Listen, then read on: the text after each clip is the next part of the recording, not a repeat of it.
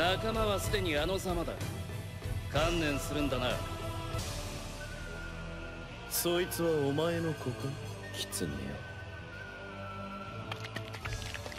なるほど。なかなかに面白い運命を背負っているようだ。不憫だぞ狐よ。それほどの力を持ちながら次の世代にそれを伝える術を持たぬとはな。てめえ一体何の話をしてんだよ下がったろボルト。見せてやろう。我が一族のやり方を。